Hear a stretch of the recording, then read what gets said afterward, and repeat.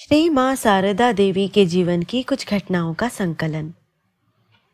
देशभक्ति के नाम पर अनर्थक आवेग श्री माँ को पसंद नहीं था।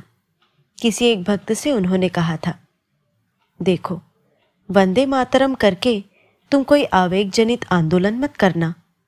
ताद बनाओ, कपड़े तैयार करो।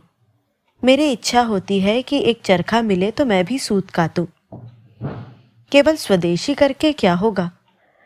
हमारा जो कुछ भी है, सबके मूल हैं ठाकुर, वही आदर्श हैं। चाहे जो करो, उन्हें पकड़े रहोगे तो कोई ताल बेताल नहीं होगा। इसके जवाब में कोआलपाड़ा मठ के अध्यक्ष स्वामी केशवानंद ने कहा था, माँ स्वामी जी ने देश का काम करने के लिए कितना कहा है, एवं देश के युवकों को निष्काम कर्म करने की ओर प्रेरित किया है। आज यदि वे जीवित होते तो देश का कितना काम होता। यह सुनकर श्री माँ ने कहा, अरे बाबा, यदि मेरा नरेन आज होता तो कंपनी क्या आज उसे छोड़ देती? जेल में बंद रखती।